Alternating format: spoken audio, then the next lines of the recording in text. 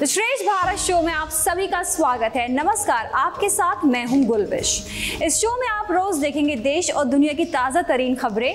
तो श्रेष्ठ भारत प्लेटफॉर्म पर तेज रफ्तार से शुरू करते हैं द श्रेष्ठ भारत शो। उत्तर भारत में कांग्रेस का आखिरी किला भी ढहता हुआ नज़र आ रहा है। कांग्रेस ने अच्छे नंबरों से हिमाचल में सरकार बनाई थी और उम्मीद की जा रही थी कि बीजेपी इस किले में सेंधमारी नहीं कर पाएगी। लेकिन वो कहावत है कि किले के दरवाजे अंदर से ही खुलते हैं। कांग्रेस के किले को ढहाने के लिए दरवाजे खोलने का काम किया है हिमाचल के पूर्व मुख्यमंत्री वीरभद्र के बेटे विक्रमादित्य ने। विक्रमादित्य ने सीएम सुखविंदर सुक्खू पर अपमान करने का आरोप लगाया है और विरोध जताते हुए मंत्री पद से इस्तीफा दे दिया देखिए मैंने ये बात साफ़ कही है कि जो वास्तविक परिस्थितियाँ हैं उसके बारे में पार्टी हाईकमान को ब्रीफ किया है Now the ball is in the court of the party high command. They have to decide what the future course of action will be. but i have been very clear and very and very categorical in what i had to say. And it has been said in very clear terms. और बार बार उस बात को मैं repeat नहीं करना चाहता हूँ। जैसा आने वाले समय में जो होगा, वो बात in due discussions and deliberations party high command के साथ करी भी जाएगी। And I am sure that whatever decision will be taken it will be taken in the larger interest of the organization, of the party and the people of the state. Vikramaditya की शिकायत है कि सुक्खू उन्हें अपमानित करते हैं। विधायक भी सुक्खू से खुश नहीं है, जिसकी वजह से हिमाचल में क्रॉस वोटिंग की गई थी। अब गेंद आला के पाले में है। क्रॉस वोटिंग करने वाले एक विधायक, राजेंद्र राणा ने कांग्रेस हाईकमान से सुक्खू को मंत्री पद से हटाने की मांग की है। राणा ने कहा है कि अगर ऐसा होता है तो वे वापस आ सकते हैं। इस बीच विधानसभा स्पीकर ने भाजपा के पंद्रह विधायकों को सदन से निष्कासित कर दिया। इन विधायकों में नेता प्रतिपक्ष जयराम ठाकुर भी शामिल हैं। जयराम ठाकुर ने बुधवार सुबह गवर्नर से मुलाकात की और फ्लोर टेस्ट की मांग की। ठाकुर फ्लोर टेस्ट की मांग इस वजह से कर रहे हैं कि राज्यसभा चुनाव में कांग्रेस के छह और तीन निर्दलीय विधायकों ने भाजपा प्रत्याशी के फेवर में वोट दिया था, जिसके बाद सुखू सरकार की साख पर सवाल खड़े हो गए थे। हिमाचल में अड़सठ सीटें हैं और बहुमत 35 सीटों पर है। 2022 में हुए विधानसभा चुनाव में कांग्रेस को 40 और भाजपा को 25 सीटें मिली थी। तीन सीटों पर निर्दलीय उम्मीदवार जीते थे। मंगलवार को कांग्रेस के छह विधायकों ने भाजपा उम्मीदवार के पक्ष में वोटिंग की थी। अगर ये सभी पाला बदलते हैं तो सुक्खू सरकार के पास चौतीस सीटें बचेंगी जो बहुमत से एक कम है। अगर सुक्खू कुर्सी छोड़ते हैं तो डिप्टी सीएम मुकेश अग्निहोत्री और पीडब्ल्यूडी मंत्री विक्रमादित्य सीएम पद की रेस में सबसे आगे हैं। हालाँकि सुक्खू दावा कर रहे हैं कि उनकी सरकार पूरे पाँच साल पूरे करेगी। ना तो मैंने इससे किसी ने इस्तीफा मांगा, ना ही मैंने कोई पेशकश की। पहली बात तो ये है कि मुझे जयराम ठाकुर जी जब सदन में बोल रहे थे तो मुझे किसी ने आकर बताया। मैंने तो देखा भी नहीं। हम अपना बहुमत भी साबित करेंगे और निश्चित तौर पर कह सकता हूँ, मैं संघर्ष की राजनीति से निकला हूँ। और आम परिवार से उठकर हमने राजनीति की है। ये जीत हमारी होगी, हिमाचल की जनता की जीत होगी। और मैं ये भी दावा कह सकता हूँ कि भारतीय जनता पार्टी तड़प क्यों रही है? अभी हमारा बजट पास होना है उसमें वोटिंग करवाइए। और जो उनके साथ गए, वो भी कुछ हमारे संपर्क में है। किसकी पक्ष में वोटिंग करते ये तो अभी आपको सामने नज़र आएगा, पर निश्चित तौर पर मैं दावे के साथ कह सकता हूँ कि आज जो बजट है, उसमें कांग्रेस पार्टी की जीत होगी। और जो राजनीतिक दबाव लोग बनाते हैं, उन षड्यंत्रों का भी हम आने वाले समय में पर्दाफाश करेंगे। हम लोग कांग्रेस पार्टी को मजबूती से, से मज़बूत कर रहे हैं और निश्चित तौर पर पाँच साल कांग्रेस पार्टी की सरकार चलेगी इसमें कोई दो, कोई दो राय नहीं। गुजरात एटीएस नेवी और सेंट्रल एजेंसी ने ज्वाइंट ऑपरेशन में अरब सागर में भारतीय सीमा से 3300 किलो ड्रग जब्त की है। इसकी अंतर्राष्ट्रीय बाज़ार में कीमत 2000 करोड़ रुपए से ज़्यादा बताई जा रही है। इस रेड में ज्वाइंट टीम ने ड्रग तस्करी करने वाले पाँच विदेशी ड्रग तस्करों को भी गिरफ़्तार किया है। ड्रग तस्करों की नागरिकता का पता लगाया जा रहा है। वैसे अनुमान है कि ये ईरान या पाकिस्तानी नागरिक हो सकते हैं। कुछ दिन पहले गिर सोमनाथ पुलिस ने वेरावल शहर के घाट पर बहकर आई 350 करोड़ रुपए की नशीली दवाएँ बरामद की थी। इसके बाद से ही मामले की तफ्तीश दिल्ली नार्कोटिक्स कंट्रोल ब्यूरो और गुजरात एटीएस दूसरी केंद्रीय एजेंसियाँ कर रही थी। उन्होंने ड्रग तस्करों को पकड़ने के लिए अभियान भी चला रखा था। समुद्री सीमा में पकड़ी गई ड्रग की ये सबसे बड़ी खेप बताई जा रही है। जब इस ड्रग को पकड़ा गया, तब ड्रग तस्कर ईरान की एक नाव पर सवार थे। वो मंगलवार देर रात नाव को पोरबंदर समुद्र तट पर लाए थे। पाँच दिन पहले ही गिर के वेरावल बंदरगाह से 350 करोड़ की हीरोइन मछली पकड़ने वाली नाव से बरामद की गई थी। इस रेड में नौ लोगों को गिरफ़्तार किया गया था। फ़िलहाल ATS Gir Somnath SOG ICB FSL और मरीन पुलिस मामले की जाँच कर रही है। ड्रग सीज मामले में एजेंसियों को पता था कि मछली पकड़ने वाली एक नाव का इस्तेमाल ड्रग तस्करी में किया जा रहा है। एजेंसियाँ एक नाव पर पहले से ही निगरानी रख रही थी।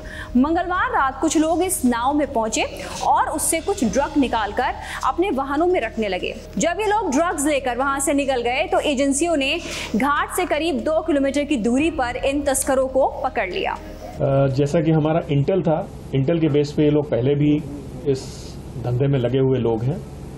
तो बाकी अब इन्वेस्टिगेशन के बाद पता चलेगा।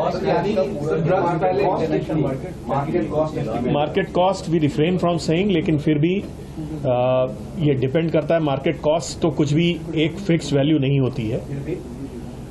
ये quality quantity reason demand supply इन सब चीज़ों पर निर्भर करती है अलग अलग होती है। हिंदुस्तान में बता दीजिए। पर मैं फिर भी इंटरनेशनली अगर मैं बात करूँ तो हाई क्वालिटी चरस पाँच से सात लाख रुपए कीमत होनी चाहिए कम से कम पर केजी की। और मेथ और जो सस्पेक्ट हीरोइन है, ये एक से पाँच करोड़ की कीमत हम लोग आते हैं। सरकारी और प्राइवेट अस्पताल में इलाज की अलग अलग कीमत पर सुप्रीम कोर्ट ने अपनी नाराज़गी ज़ाहिर कर दी है।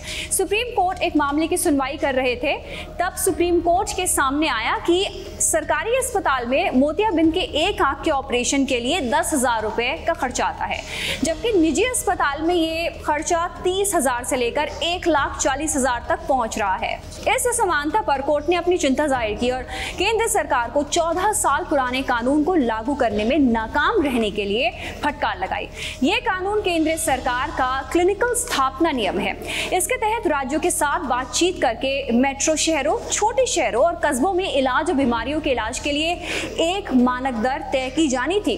केंद्र सरकार ने सुप्रीम कोर्ट को बताया कि उन्होंने इस बारे में राज्यों को कई बार चिट्ठी लिखी है, लेकिन किसी भी राज्य से कोई जवाब आया ही नहीं। इस पर सुप्रीम कोर्ट ने कहा है कि देश के लोगों को स्वास्थ्य सेवा उपलब्ध कराना उनके मौलिक अधिकारों में आता है। केंद्र सरकार इस आधार पर अपनी ज़िम्मेदारी से बच नहीं सकती है।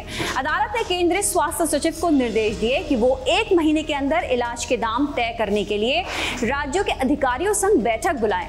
सुप्रीम कोर्ट ने साफ़ साफ़ कहा कि अगर केंद्र सरकार इस मामले का हल खोजने में नाकामयाब रहती है तो कोर्ट याचिकाकर्ता की सीजीएचएस से तय किए गए दामों को लागू करने की याचिका पर विचार करेंगे। गौरतलब है कि सुप्रीम कोर्ट में एक एनजीओ वयोवृद्ध मंच for transparency in public life ने, वकील दानिश जुबैर खान ने ये पीआईएल दायर की थी, जिसमें केंद्र सरकार को ये निर्देश देने की मांग की थी कि वे क्लिनिकल स्थापना नियम 2012 के नियम 9 के अनुसार मरीजों से वसूली जाने वाली फ़ीस की दर निर्धारित करते नियमों के तहत सभी अस्पतालों और चिकित्सा संस्थानों को अपना रजिस्ट्रेशन बनाए रखने के लिए, वहाँ दी जा रही सर्विसेज़ के लिए फ़ीस और मरीजों के लाभ के लिए उपलब्ध सुविधाओं को प्रमुख स्थान पर स्थानीय भाषा के साथ साथ अंग्रेज़ी भाषा में जानकारी देनी होगी।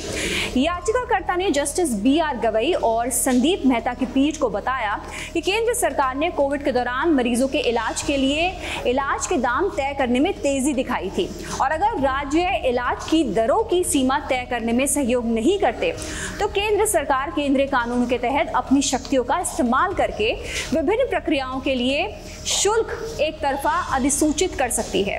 कर्नाटक में एक नया विवाद उत्पन्न हो गया है। यहाँ पर बीजेपी ने मंगलवार देर रात कांग्रेस के नव निर्वाचित राज्यसभा सांसद नसीर हुसैन के खिलाफ पुलिस में शिकायत दर्ज कराई है। शिकायत में कहा गया है कि राज्यसभा चुनाव जीतने के बाद नसीर के समर्थकों ने जीत का जश्न मनाते हुए विधानसभा परिसर में कथित तौर पर पाकिस्तान जिंदाबाद के नारे लगाए। बीजेपी एमएलसीएन रवि कुमार और पार्टी विधायक व मुख्य सचेतक डोड्डा नगौड़ा पाटिल ने हुसैन और उनके समर्थकों के खिलाफ विधान सौद पुलिस स्टेशन में इस मामले की शिकायत दर्ज करा दी है। इसमें कहा गया है कि विधान सौद में 27 फरवरी को हुए राज्यसभा चुनाव के बाद नसीर हुसैन और उनके कई समर्थक शाम को काउंटिंग क्षेत्र के पास इकट्ठा हुए थे। शाम करीब सात बजे जब परिणामों की घोषणा हुई तो नसीर के समर्थक जोश में आ गए। शिकायत में आगे कहा गया कि इसके बाद कांग्रेस नेता के कहने पर नसीर हुसैन के समर्थकों ने अचानक अपने नेता की जय जयकार करते हुए ज़ोर ज़ोर से पाकिस्तान जिंदाबाद के नारे भी लगाए। ऐसा लग रहा था जैसे नसीर हुसैन के ये समर्थक नसीर हुसैन के राज्यसभा के लिए चुने जाने पर पाकिस्तान की तारीफ़ कर रहे हों। शिकायत में यह भी लिखा गया है कि ऐसा नारा राष्ट्रीय सम्मान का खुला अपमान है और भारत की अखंडता और संप्रभुता के खिलाफ अपराध है। ये बयान आईपीसी की धारा 505 के तहत सार्वजनिक शरारत के लिए अनुकूल है, क्योंकि इसका उद्देश्य डर पैदा करना और सरकार के खिलाफ नफरत भड़काना है। इस मामले में आरोप साबित होते हैं तो अधिकतम तीन साल की सजा का प्रावधान है। इस बीच नसीर हुसैन ने अपनी सफ़ाई में कहा है कि उनके समर्थकों ने नसीर हुसैन जिंदाबाद का नारा लगाया था। ना कि वो नारा जिसका विरोध मीडिया का एक वर्ग कर रहा है। नसीर ने कहा कि मामले की जाँच होने दीजिए। आज के समय में तकनीक काफ़ी उन्नत है। ये एक साजिश भी हो सकती है। प्रधानमंत्री नरेंद्र मोदी ने लोकसभा चुनाव से पहले दक्षिण भारत में अपना प्रभाव जमाने के लिए एक के बाद एक विकास की कई परियोजनाओं का उद्घाटन और शिलान्यास किया।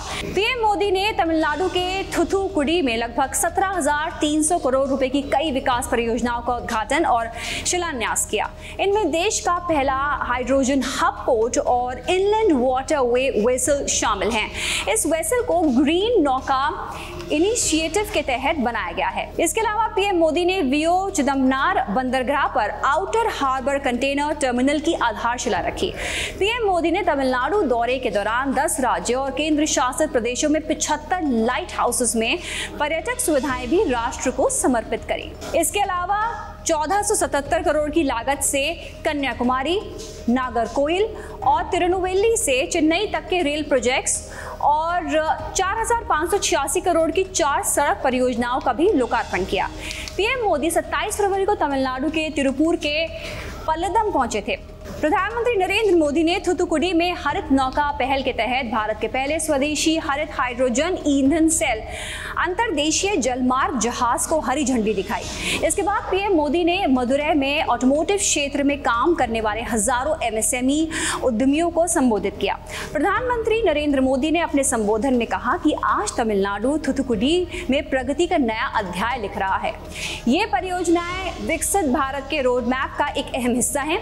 इन परियोजनाओं में एक भारत श्रेष्ठ भारत की भावना भी देखने को मिलेगी। पीएम मोदी ने कहा, मुझे तमिलनाडु और देश की जनता को एक सत्य बताना ज़रूरी है।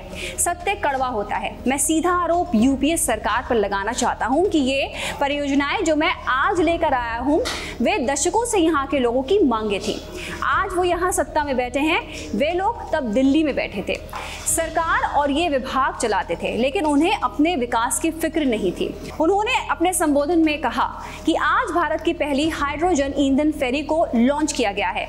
ये फेरी जल्द ही काशी में गंगा नदी में चलेगी। ये एक तरह से तमिलनाडु के लोगों का, काशी के लोगों को बहुत बड़ा उपहार है। द भारत शो में ये थी आज की सभी बड़ी खबरें। ऐसी खबरों के साथ कल फिर से हाजिर होंगे। मुझे दीजिए इजाज़त और आप हमें सब्सक्राइब करना मत भूलिए।